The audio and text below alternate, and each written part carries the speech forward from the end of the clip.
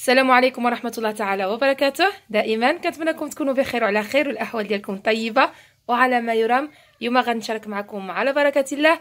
واحد الوصفة رائعة ديال المقرونية غادي تشوفوا غادي تجي بحال لازانيا ولكن شكل آخر.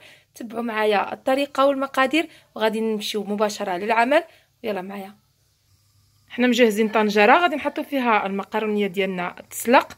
تسلق يعني ما تنسلقوهاش نهائيا نخليوها شوية يعني ما بين نص سلقه ونحبسو هي هادي حطيناها. غتسلق هنايا. واحد خمسة دقائق ولا ونحيدوها من هنايا. وغادي تشوفوا معايا. نمشيو للعمليه الثانية تجهيز الكفتة والصوص ديالها. جهزنا مقلاة. حطينا فيها واحد البصلة مفرومة. غادي نحطوها كتقلى مع القليل من الزيت ونضيفوا عليها الكفتة. حطيت البصل البصل ديالي مع القليل من الزيت. ما نكثروش لأن الكفتة فيها ليدام كما كتعرفوا كتكون مشحمة. وغادي نتلاقاو من بعد. ما تشحر شوية. أثناء البصل ديالنا ما كتقلى غادي نضيفوا عليها الكفتة. شحال ما كان عندكم العبار أنا عندي يعني الكمية اللي متوفرة عليها كل سيدة تضيفها. هذه الكفتة ديالنا غنبقاو مع التحريك حتى يتقلى لنا هي والبصل وغادي نضيفوا الطماطم والمنسمات يعني كل سيدة تضيف اللي بغات. غادي نضيفوا لها واحد الفلفلة يعني كمية قليلة. غنضيفوها مع ضفت المعدنوس غادي نضيف الثوم بودرة. الفلفل الأحمر الفلفل الأسود كل سيدة تضيف اللي بغات. يعني كل سيدة تضيف المنسمات اللي بغات الصوص ما كيهمش كيفاش جهزناها. المهم هي الطريقة شوية ديال الحبق يابس هذه المقرونيه ديالنا. من بعد ما تسلقت غنضيفوا عليها القليل من الزيت. ولا زيت الزيتون من الأحسن ونحركوها باش ما تجمعش مع بعضياتها وتنشف. وغادي نضيفوا الصوص ديالنا. غنضيفوا لها الطماطم. يا إما عندكم طرية ضيفوها عندكم إلا كانت عندكم علب ضيفوها. أنا غنضيف لها هذه العلبة ديال الطماطم. من بعد ما ضفنا ديك الطماطم غادي نخليوها تتحرك. وحتى تشحر يعني حتى تلبى ونرجعوا إن شاء الله. لتحضير الصوص ديال البشاميل هنا درت واحد الزبدة ملعقة مملوءة غنضيف عليها ملعقة ديال الدقيق. غادي نضيف معها ملعقة من الدقيق مملوءة مع التحريك المستمر بطبيعة الحال. وغادي نضيفوا فوق منهم واحد نصف لتر من الحليب. مبغيناهاش تختر لأن لا قص حنا درنا الدقيق بزاف غادي تجينا خاطره بزاف. ودابا غادي نضيف نصف لتر من الحليب. بسم الله. ومع التحريك غادي نزيد. ضفت لها الفلفل الأسود الملح الكوزه عندكم. أنا ما متوفراش عندي.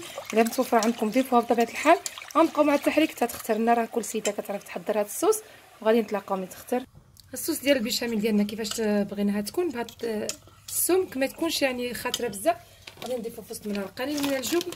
الجبن اللي غادي تستعملوه في الوجه بطبيعة الحال. نمجوه معاها. غير ما بين يدينا غير حفنا ما بين يدينا. غادي نضيفو القليل منها. قليل من الصوص ديالنا هذا الصوص ديال الكفتة. غادي نضيفو معاها القليل ونمجوه ونخليو البقيه باش غنفرشوها من الفوق. غادي نمجوهم جيدا. وغنحتفظوا بهذا الشيء وغادي نجيبوا الصينية دابا الفرن. حنا جبنا هذيك المقرونية اللي سلقناها في الأول غادي نكسروا فيها بيضتان وغنمجوهم جيدا معاها حتى يندمجوا ويتغلفوا والقليل من الحبق.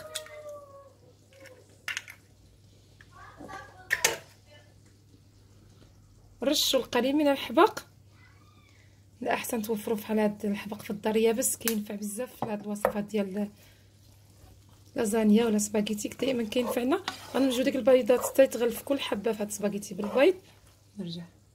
من بعد ما تأكدنا أن السباغيتي ديالنا تغلف بالبيض غادي نجيبوا الصينية ديال الفرن دهناها بالزبدة. فرشنا داك السباغيتي ديالنا. غادي نجيبوا الكفتة وغادي نصبوها من الفوق.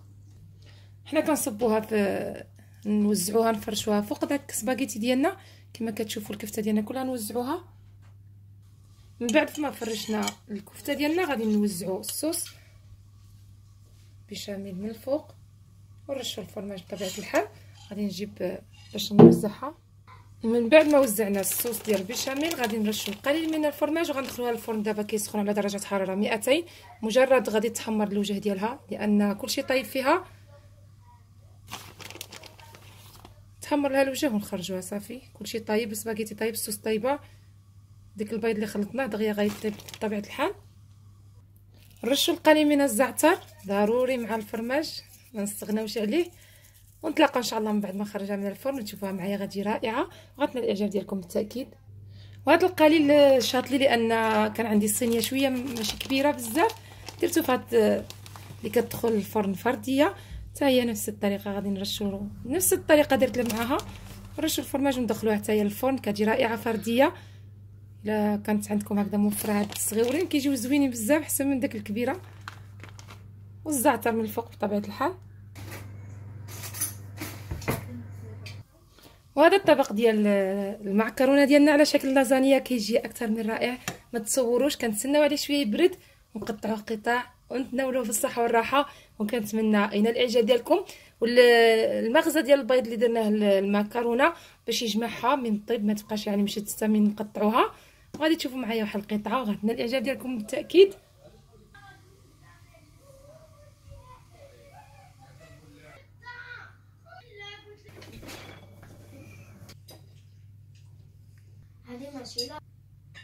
وهذا هو الشكل ديال الطبق ديالنا من الداخل كيجي رائع. ننتظروا عليه شوية يبرد وقدموه بالصحة والراحة. وإلى هنا إلى اللقاء. مع السلامة. دمتم في حفظ الله ورعايته وإلى اللقاء. مع السلامة.